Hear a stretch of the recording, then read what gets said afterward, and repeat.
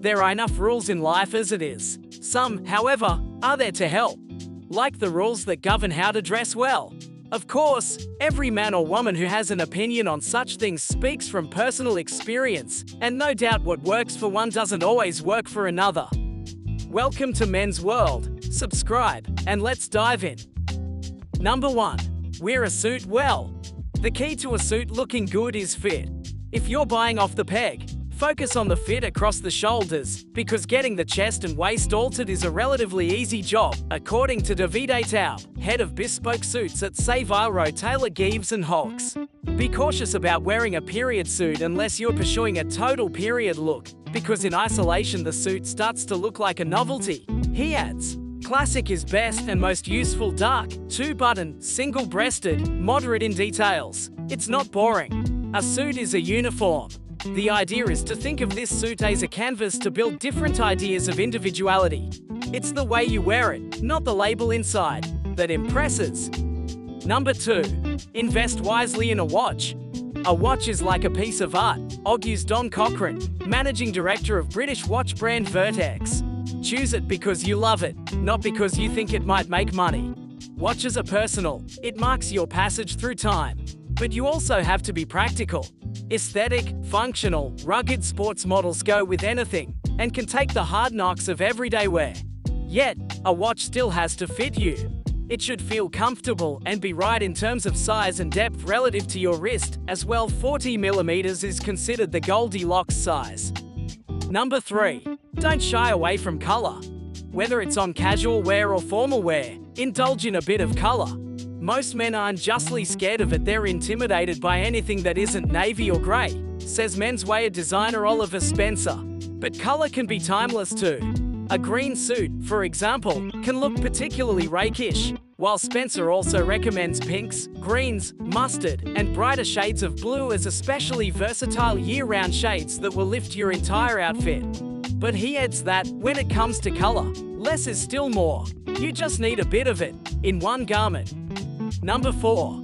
Wear your jeans until they are yours.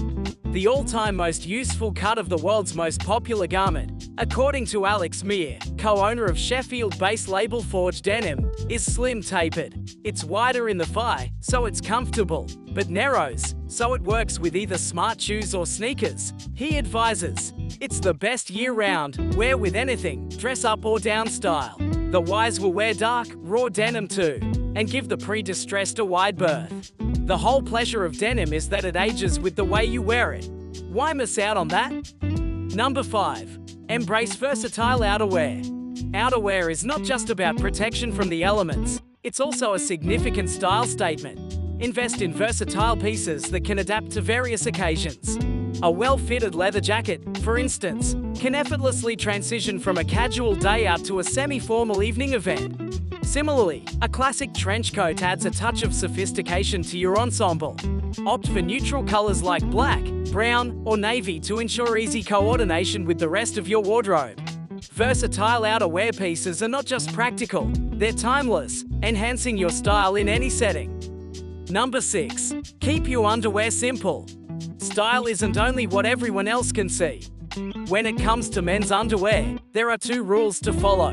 1. Novelty prints are not for grown men. Your underwear is not the place to express your personality, as shirt and underwear maker Emma Willis notes. And 2. Heavily branded underwear lacks sophistication. Of all places where you might have the confidence not to have branding, your underwear should be it, adds Willis. The style that has best stood the test of time, of course, is the cotton boxer short or boxer brief, likely because, as is the case with linen, they take repeated washing, breathe well, and are comfortable against your skin. Number 7. Spend money on shoes. Timelessness is about simple design, and all the more so with shoes, argues Tim Little, owner of heritage shoe brand Grenson. The color, the pattern, the sole, you don't want it fussy. Anything fussy may look good now, but will look strange very quickly quality shoes, the gold standard being resoleable Goodyear welted examples are the kind of investment that should last 15 years or more.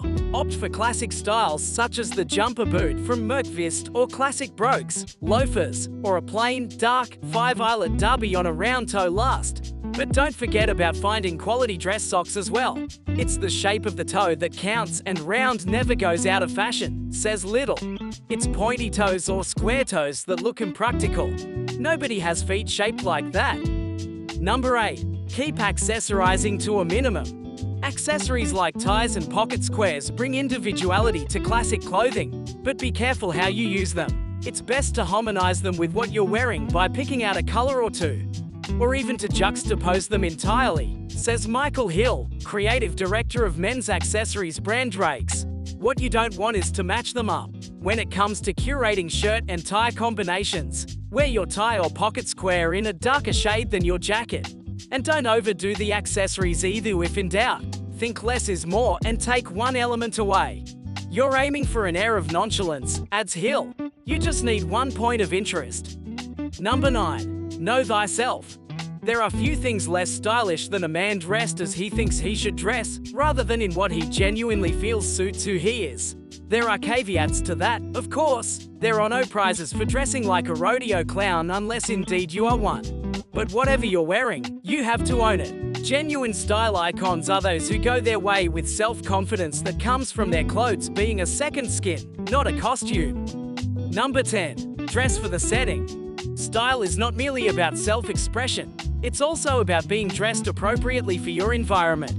Think of clothes as being codes. You need the right combination to work with the setting you're in, and that's whether it's a formal dinner or a lazy Sunday in the pub.